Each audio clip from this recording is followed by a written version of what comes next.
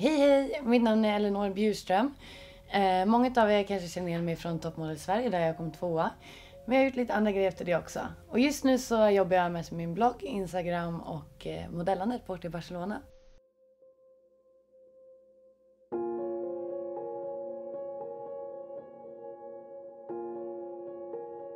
Uh, idag tänkte jag prata om uh, en grej för er som jag har upplevt och som jag tycker är väldigt viktigt att få ut till många unga då jag tror att uh, många är med om det här. Och det är att jag under min tonår av någon anledning bestämde mig för att inte äta. Jag har psoriasis och det är någonting som ger mig utslag i hela kroppen och i min tonår så var det väldigt tufft för mitt psyke. Samma period så skilde sig mina föräldrar och eh, skolan gick åt helvete jag fick körtelfeber och allt möjligt. Det var väldigt mycket på en gång helt enkelt. Och det var inte på grund av att jag hade anorexia, bulimi eller någonting sånt där utan att jag bara inte åt. Och just då så hade jag ingen aning om varför jag inte åt heller utan att jag ville bara inte äta.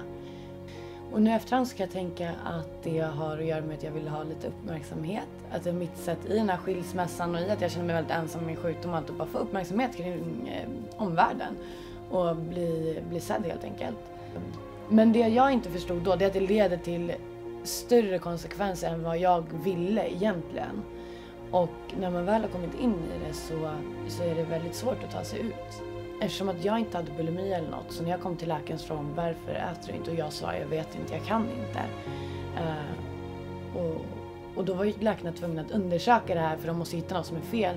Och ett tag så var läkarna inne på att det inte hade om eh, alltså psykiskt, att det var fysiskt, att jag hade något fel på min lever eller alltså någonting som gjorde att jag inte kunde äta.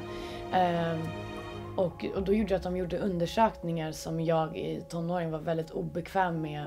För att jag på något sätt ville se mig själv lida. Ehm, för jag ville nog bara ha det här. Jag fick inte den här bekräftelsen som jag ville ha. Så därför så skapade jag någonting så att jag skulle få den bekräftelsen. Det slutade med att det här hotade mitt liv liksom. Och det var inte jag beredd på. Så det var väldigt läskigt. Så jag visste ju att fan, nu måste jag ta mig ur det här. Och då träffade jag faktiskt en läkare som, eh, som brydde sig jättemycket om mig. Och det var faktiskt nog den första som, eh, som förstod att det här handlar inte om en sjukdom, utan att det här handlar om att det här är en, en eh, en ung tjej som inte mår bra och hon vet inte vart hon ska ta vägen så hennes utväg är att, att göra så här mot sig själv. Så äh, inte psykologiskt sett pratade han med utan han sa bara det, Elinor. Alltså du vet att bullar är jävligt gott och så här, du kan ju inte bara hoppa över och inte äta det bara för att du inte vill. Alltså han, han vände på det hela liksom mot mig och fick mig att, att ung tänka shit vad håller jag på med?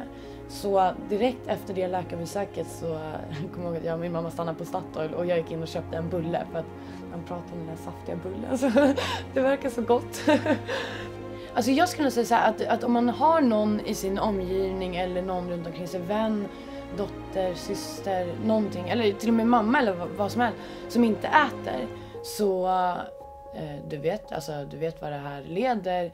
Jag behöver inte dra upp det för dig, men jag vill att du ska veta att jag finns här och stöttar dig. Eh, simple as that liksom. För det är det man behöver höra, bara, bara en sån där. Jag finns här och stöttar dig, jag vill inte se dig må dåligt och eh, vi tillsammans kan eh, klara av att ta oss ur det här. Eller vad som helst. Jag hade inte suttit och bara du ska äta, du fattar inte vad du gör med dig själv, du är dum i huvudet. För att det gör det bara så man mår ännu sämre och hatar sig själv ännu mer. Då kommer man sluta äta ännu mer. Jag skulle nog prata med dem runt om och säga att eh, den här människan behöver hjälp. Eh, hon eller han behöver hjälp att ta sig härifrån. Det går inte att, att helt själv ta sig från en sån situation för man själv har skapat det och det är jobbigt. Det, det jag vill med den här videon, det jag vill eh, säga till er är att eh, saker och ting blir inte alltid som man tror och eh, att, att sluta äta är inte en liten grej, det är väldigt stort. Och det leder oftast till mycket mer än vad man tror och eh, det är någonting som eh, ingen vill, vill ge sig in på och jag eh, skulle inte över något kunna alltså, tipsa eller, eller på något sätt säga att det har hjälpt mig. Och jag tror inte att det kommer hjälpa någon annan heller. Så jag tycker att man ska hoppa över den där delen med att sluta äta. För det skadar bara dig själv.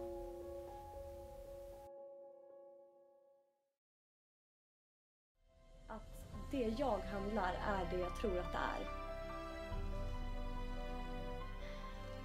Men jag är för allting som har